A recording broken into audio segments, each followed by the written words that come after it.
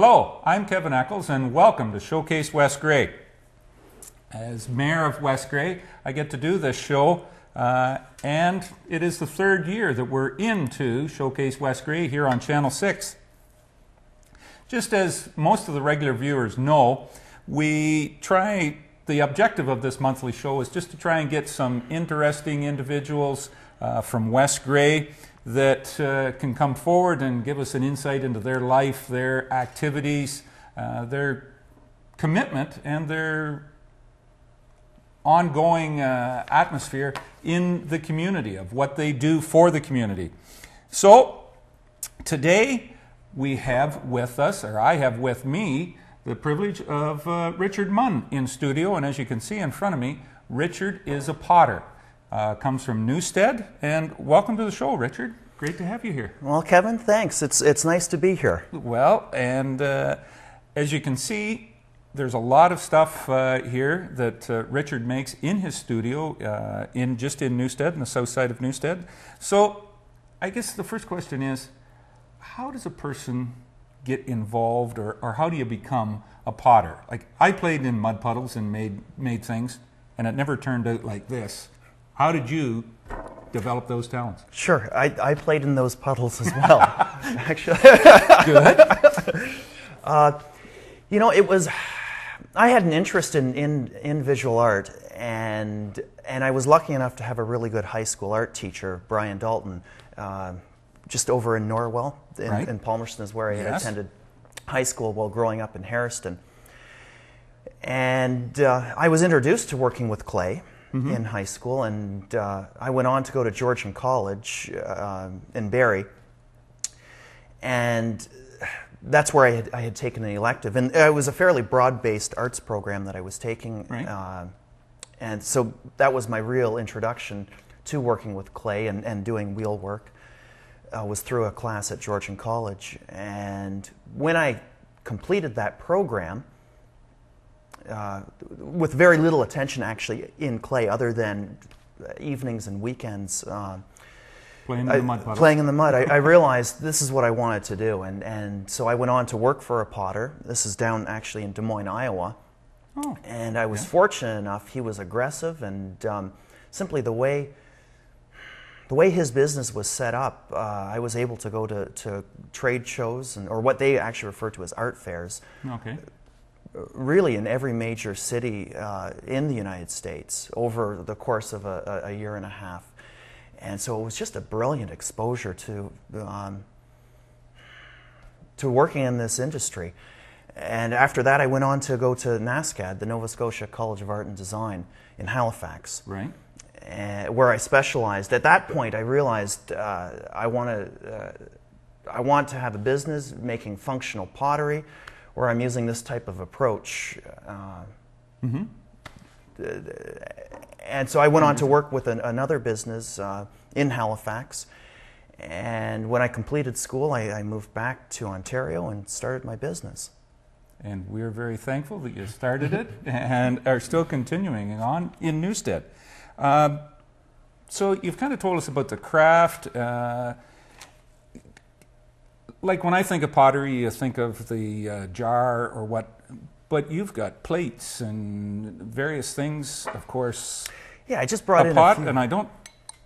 This wouldn't be very good for the cereal in the morning, but I think I do know what it is for. But with the whole, but uh, how do, uh, where, where do you come up with the ideas, or how do you get all the design for this into pottery? Yeah. Well, you know, a, large part of my focus is uh, is to kind of create a relationship between form, surface, and function. Okay. Right. That's that's uh, if if there was a structure to to the design process, that's that's more or less where it begins. Uh, you know, and and and with that, um, you know, I like to work with rich color. I like simple forms. They tend to function well. Right. They clean up easy. They're you know they, they're serviceable. You know, as far as from a technical point of view or process point of view, uh, these pieces, most of them are, are, are made on a potter's wheel. Uh, I'm working with anywhere between a pound of clay for a mug uh, to 15 pounds of clay for you know, a, a nice large bowl. Or a platter. Exactly. Uh, and uh, It just creates. It comes out of your fingers. just no different than what we were talking about before. It, it's kind of a mud puddle, only, I mean, you've taken it to uh, a very, very much a higher level than that. One thing I was going to ask you do you do any custom design? Does somebody come in and say, I want a mug or I want a set of mugs for gifts or anything like that? Do you do any of that type of stuff? all, all the time, all the time. In fact, actually, there was just an insurance company that um, I made up 60 of these bowls for um, for their Christmas gifts. Um, yeah, so there's all Unique. kinds of like anything and everything, quite literally from um, you know somebody's sink to drawer pulls to number plates for their house. Houses, right? Um, I mean, All of all kinds type of of- things. Uh, dinnerware f- uh, for a wedding, um, like uh, all kinds of things. As And long as it's- unique. Yeah, as long as it's clay and Well, yeah, and it falls into the realm of, of, of what I can do, uh, what I'm competent to do. Mm-hmm. Right? That's that's what's important, and that's usually uh, the first thing I say when somebody's approaching me with an order. this is the box. I, Yeah. don't want to stray too far outside of that. So, a typical workday. Does it start at four o'clock in the morning, firing up the kiln, or I'm taking that look as no, not quite that far. of thing. It has, yeah, it Yeah. has. Uh, typically, uh, the, the kiln go, you know, typically the kiln is going late as opposed to starting it up early.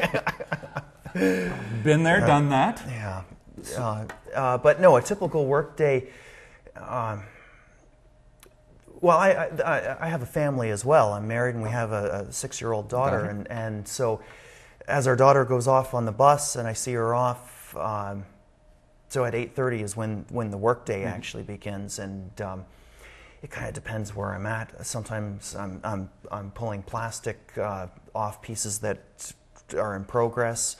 Um, you know, sometimes I'm starting out working with with wet clay. Sometimes I'm uh, starting to decorate pieces uh, to load in the kiln uh, by noon. So it, it it's always different. Every day is different, and I guess that's what really is great about having your own job and you know working at home. The color. Obviously, it's in the kiln and, and it's burned in. Is it uh, is it an organic color, or how do you get the how do you get the color inside the bowl? Well, you're looking at two different processes right here. Okay. Um, I'm working predominantly with ceramic stains. Uh, all these materials are pulled out of the ground, obviously. Uh, but this, for instance, uh, uh, I'm actually applying a, or uh, um, adding a stain to what's called a, a, a- a slip. A slip is a watered down clay. Okay. So I'm basically making a blue clay, and I'm, I'm right after that piece is formed on the wheel, I'm, I'm banding that or brushing that in with, with, with a, a blue clay. Ah, This process, this is actually what I specialize in. It's referred to as a majolica glaze. Mm-hmm. What a majolica glaze is, is a white opaque glaze, very stable so that during the firing there isn't a lot of movement.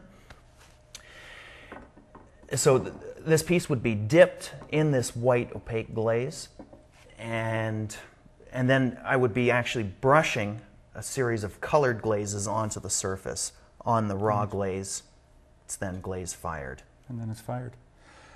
Richard, it's been wonderful speaking to you today. I can't believe that we've, I don't want to use this pun, but I will anyways. We've spun through this whole atmosphere, or, this whole display that you have here. We've spun out of time, and I thank you very much for coming in. It's greatly appreciated. And to everybody out there, thank you for watching Showcase West Grey.